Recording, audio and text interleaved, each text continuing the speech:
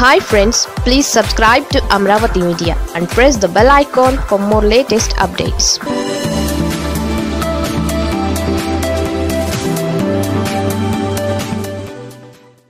TDP కంచుకోటలో YCP దూకుడు మామూలుగా లేదుగా? రాష్ట్రంలో రాజకీయ పరిణామాలు ఊహించిన విధంగా మారుతున్నాయనే చెప్పాలి. ఇప్పటి వరకు అధికార వైసీపీ హవానే ఎక్కువ ఉన్నట్లు కనిపించింది. కానీ నిదానంగా పలు నియోజకవర్గాలలో సీన్ మారుతోంది. టీడీపీ కూడా వేగంగా పుంజుకుంటోంది. అయితే ఇక్కడ చెప్పుకోవాల్సిన విషయం ఏంటంటే టీడీపీ సిట్టింగ్ సీట్లలో వైసీపీ పికప్ అవుతోంది. ఇప్పటికే పలు టీడీపీ సీట్లలో వైసీపీ పుంజుకుంది.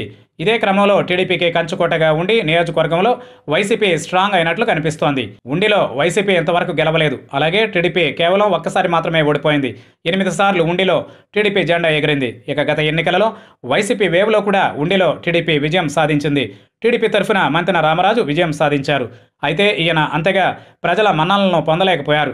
ప్రతిపక్ష ఎమ్మెల్యేగా ఉన్న మంతెన అనుకున్న మేర పనిచేయడంలో విఫలమైనట్లు కనిపిస్తోంది. పైగా రాజకీయంగా విఫలమైనట్లు కనిపిస్తోంది. పైగా రాజకీయంగా ఇబ్బంది పడకుండా ఉండడానికి వైసీపీ నేతలతో సన్నిహితంగా మెలుగుతున్నట్లు తెలుస్తోంది. దీంతో ఉండిలో టీడీపీకి కాస్త ఇబ్బందికర పరిస్థితులు వచ్చాయి. ఇదే సమయంలో వైసీపీ దూకుడుగా ఉండడం బాగా కలిసి వచ్చింది పైగా గత ఎన్నికలలో ఓడిపోయిన నరసింహరాజుని సైడ్ చేసి గోకరాజు రామరాజుకు ఉండి బాధ్యతలు అప్పగించారు. గోకరాజు ఎంట్రీతో ఉండిలో సీన్ మారింది.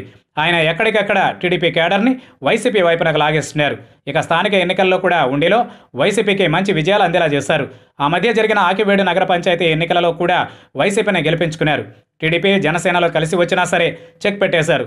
ఈ పరిణామాలను బట్టి చూస్తే టీడీపీ కంచుకోటైన ఉండిలో వైసీపీ లీడ్లోకి వచ్చినట్లే కనిపిస్తోంది. అయితే నెక్స్ట్ ఎన్నికలలో ఉండి బరిలో టీడీపీ నేత మాజీ ఎమ్మెల్యే వేటుకూరి శివరామరాజు బరిలో దిగితే వైసీపీకి గట్టి పోటీ ఉంటుంది. అలా కాకుండా మళ్ళీ మంతెన రామరాజు బరిలో దిగితే వైసీపీ రామరాజు పైచేయి సాధించేలా ఉన్నారు.